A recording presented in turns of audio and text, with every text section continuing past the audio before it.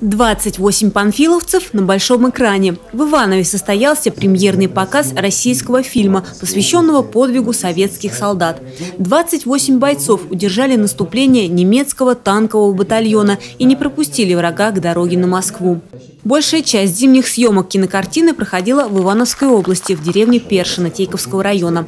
Премьерный показ посетили губернатор Павел Коньков с супругой. Я, как ивановец, горжусь тем, что э, существенная часть этого фильма и во времени э, снималась на нашей Ивановской земле, в Тейковском районе. Это лишний раз свидетельство того, что Ивановская область, она похожа, она часть всей России, и вместе со всей Россией, со всем Советским Союзом защищала свою родину, свое отечество. В съемках фильма активное участие принимали жители Тейковского района. Целый месяц, пока работала съемочная группа, они не только мирились со взрывами на соседних полях, но и активно содействовали процессу создания фильма. Участвовали в подготовке съемочных локаций, э, помогали там морально, духовно, э, кололи дрова, э, там, условно говоря, помогали съемочной массовке подготовиться к процессу и так далее. Предоставляли там свои помещения, дома. Жители нашей области участвовали и в массовке. Дивизия, защищавшая Москву от немцев, была многонациональной, а поэтому требовались люди не только славянской внешности. Подходящие кандидатуры создателям фильма удалось найти на Ивановской земле. Они организовали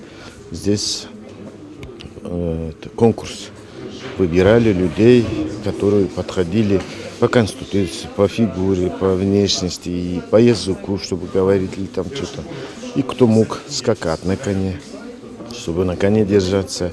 И по акробатике, что там прыгать или падать и так далее. Работа над фильмом продолжалась около трех лет. Средства собирали всем миром. 35 тысяч человек пожертвовали в общей сложности 30 миллионов рублей.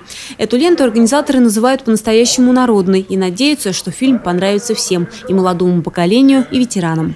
Любовь Почерникова, Денис Денисов, РТВ Иванова.